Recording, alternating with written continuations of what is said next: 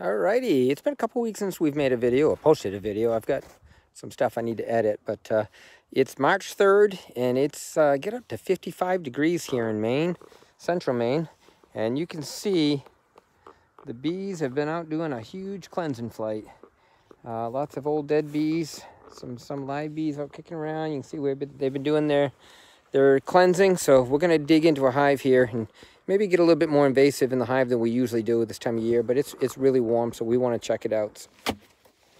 And, yeah, I put some feed in here a week or so ago, and they've been slowly sucking that down, so, and it has been freezing, so that's good. Yeah, I see all kinds of live bees down here. And uh, I think maybe, you see them up, up in the top here. I don't know just how invasive I want to get, but we'll we'll take a good look.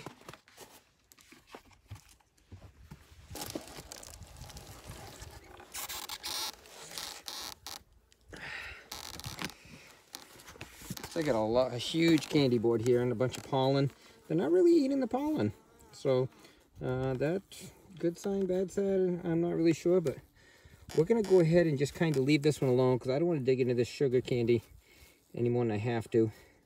But that one's looking pretty good. They got the pollen patties there. They've been leaving that alone for the most part. So we're just going to leave them alone and, uh, and see how things go over the next few weeks. Let's go to the next one. I'm okay with that. So we're going to go ahead and keep this quilt box. What I've been doing is I, uh, I use these quilt boxes this year, and this worked out pretty good. I'm going to modify them a little bit next year, but basically I want the moisture to come up through, get caught, caught in the burlap, and then I have these vents that are shielded so mice and stuff can't get in. The air will go in there and dry the burlap. So that way there I can, uh, I don't have to worry about the bees getting uh, a lot of moisture built up. At least that's my, the attempt. And that's an empty jar in there I left the other day. And yeah, this one is taking quite a bit of liquid. I'm a little, little surprised at how much they've taken.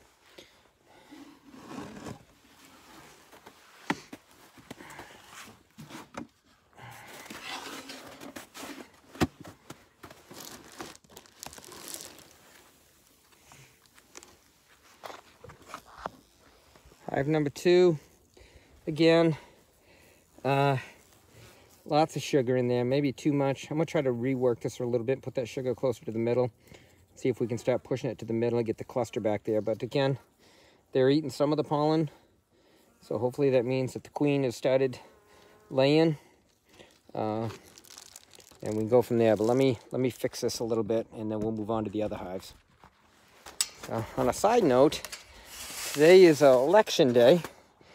Those of you who have not got out yet to vote, uh, highly suggestive that you do.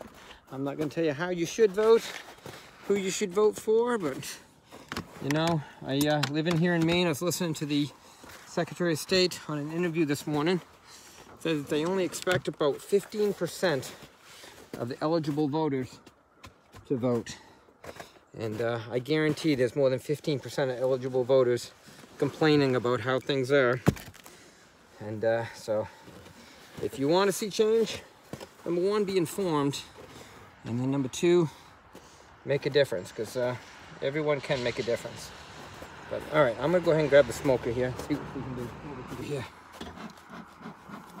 See if we can push them down a little bit. So I can get them flying up in the quilt box quite as much.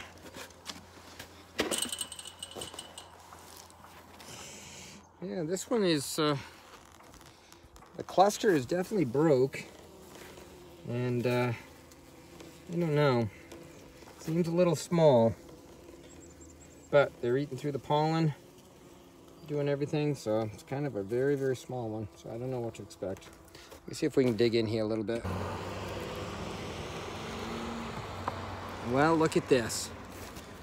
No worry about these guys starving, at least not right off this this uh, frame here lots and lots of food in it so really I don't have to worry about feeding these guys at all. There's way too much food in here. In fact I've got a problem. One of my frames broke. One of the things I hate about wooden frames and one of the reasons why I'm probably gonna go to straight up plastic. Please don't fall please don't fall please don't fall. There we go. So again, this one here completely filled. And uh, looks like we got a lot of bees down in there, so we're gonna take and uh, I don't know what to do about this. I may brush the breeze in and try to fix this one before we put it back in. All right, look at that. I don't see any signs of brood, but it's still been really cold. And I'm only on the second one too, so. We're gonna go ahead, leave this guy alone. I'm gonna push you out,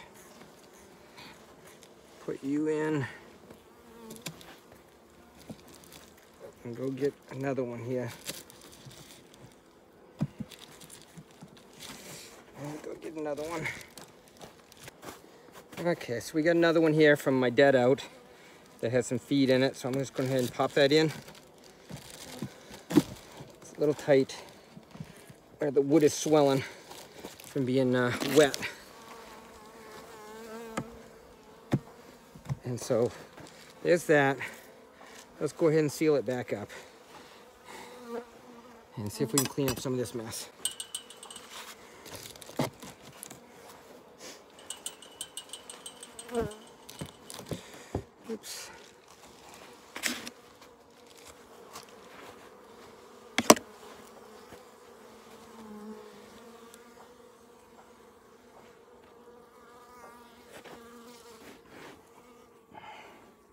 Thing I am looking to make sure, and I didn't really pay much attention, is just make sure that queen wasn't involved in any of that. I don't think she was. I don't see why she would be way over there in the end, but it's hard telling. These bees have a mind of their own. All right, so let's put all this back together. And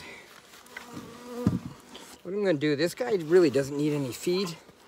This one over here does, so I'm gonna swap it out.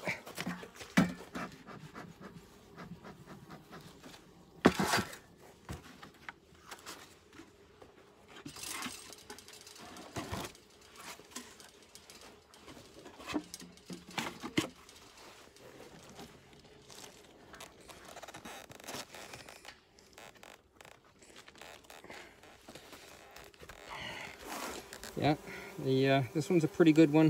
You can see them spread across several frames. So I just need to, again, make sure that uh, before it gets cold, I push some of this feed in. And that's really all I need to do to this one. Uh, they've been chowing down that pollen too, so uh, good sign, bad sign, I'm not sure yet, but uh, we'll probably add another pollen patty to these guys in the next week or so.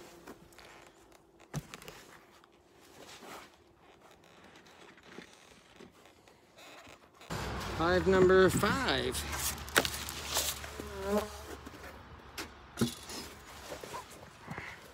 Again, they, they suck down all the food, so we're gonna have to make up some more food, assuming they don't need any. This one, see a bunch of bees down there.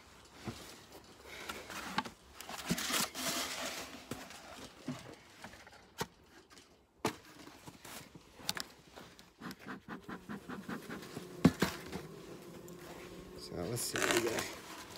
Let's see what we got here.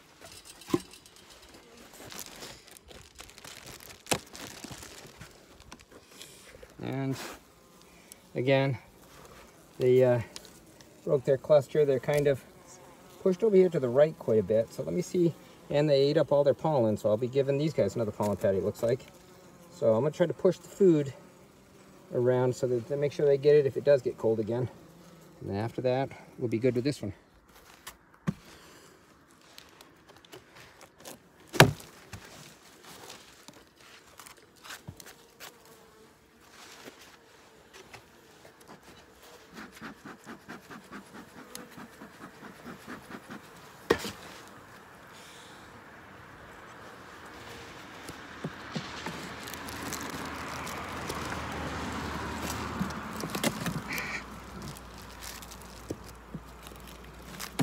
Putting it on.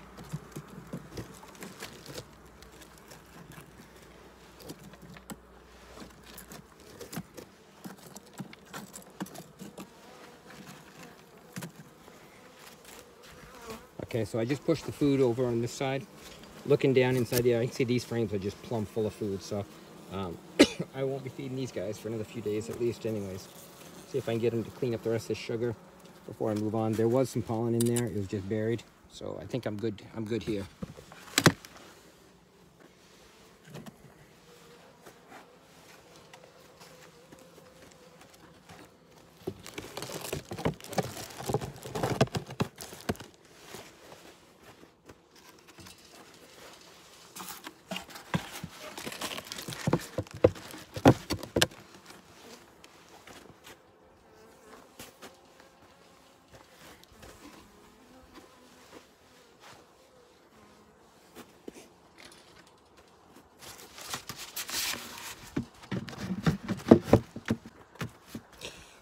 Right, so there's five. Two more to go. So let's see how we do.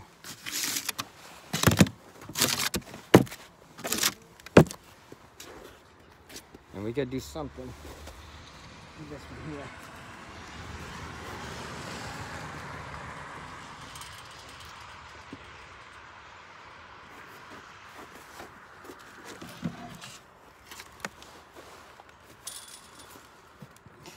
Again, they they ate up the uh, the food that I gave them. So let's see what they've got inside though.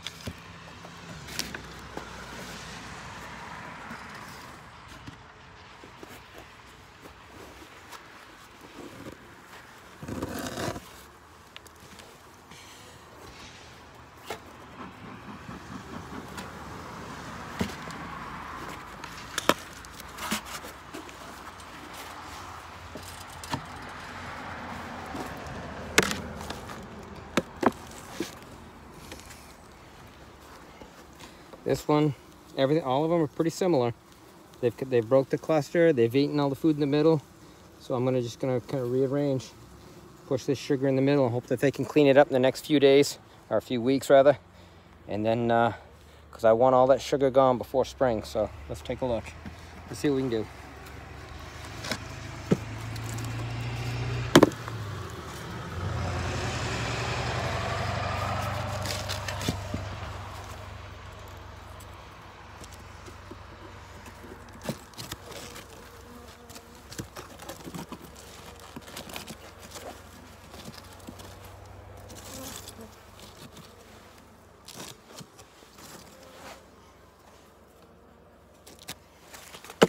Everything's very similar.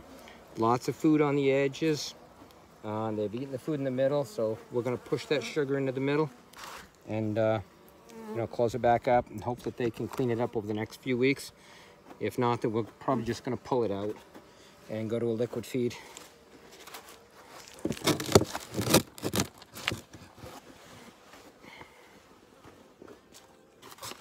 This one has a lot of food in it that they have not even touched. But again, there was a ton of food in this one. So this guy right here, haven't touched that. That's been on here for two weeks. So let's see what we can do first of all about the bees. Oh geez, look at the bees down in there.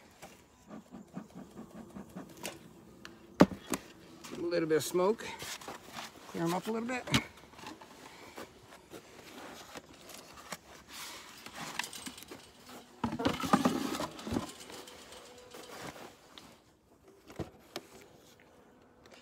these guys have actually ate up a lot of the food.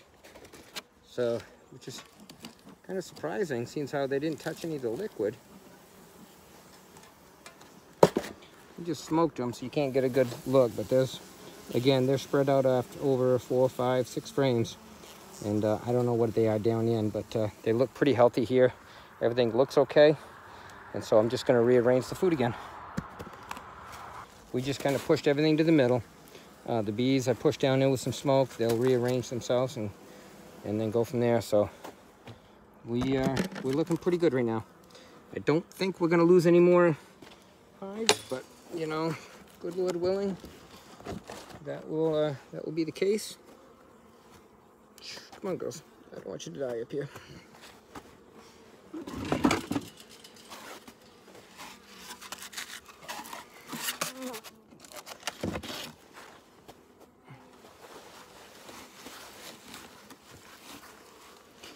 everything's looking good. Pretty happy.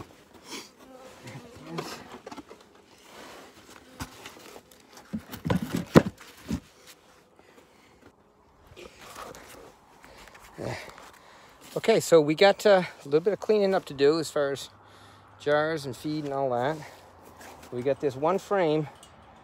Probably gonna take it back to house. I don't know how much of it's sugar water and how much of it is honey, but uh, I may take it back to my, my wife and have her dip her finger in it and see what she says. But uh, overall, I'm pretty happy. It's been a it's been a mild winter here in Maine, and uh, um, the bees have done relatively well. Learned a lot, so ne next year I expect to do even better through the winter, even if the winters aren't this mild. Um, I think I've got a pretty good handle on running a, uh, a single brood operation, and that's, in my mind, that's the way to go. Um, there, there's times of the year, especially in the spring buildup, where you go to a, to a double, but by and large, running the single most of the year, um, it's easier, easier to manage, it's cheaper, uh, because you don't have, you literally are using well, almost half the resources as far as boxes and things like that. So um, it's easier to keep the queen isolated, easier to find the queen, easier to locate problems. And, you know, obviously you get a, and you, and you generally get a larger honey crop as well. Uh, the downside of the uh, single brood is uh, it's, um, it's a little bit more uh, timing. You, have got to be on your game. You can't just walk away and leave it for weeks and weeks at a time. And uh, I knew that going into it and put a lot of effort into it. So this next year will be the testament. So like I said, good Lord willing, we get, uh, we get, was it spring solstice here in a couple of weeks. Uh, we're going to start seeing more and more high 40s, 50 degree weather. So we will be coming back and checking out the feed and uh, making sure that the feed I think they have plenty of is, is really that. And then uh, we're going to start prepping all of our queen rearing gear. So this next year, we're hoping to expand to 20 hives from these seven and then uh, and then kind of go from there. So anyways, thanks again for watching. Really appreciate it. Here it is. Possibly the first honey harvest of 2020. Not really. It's a frame that was busted when I went to pull it out. It broke and so I uh, I pulled it out and put another one in there. Unfortunately, this one had a lot of food on it, but we're going to take a look at it. It's probably a lot of sugar. Uh, but then there's some honey on it. Babe, can you flip it around? Flip it right around there. Yeah, this she doesn't want to see her face on it, so yeah, we get a little bit on this side. So let's take a look. We'll take a bite out of it and see what it tastes like.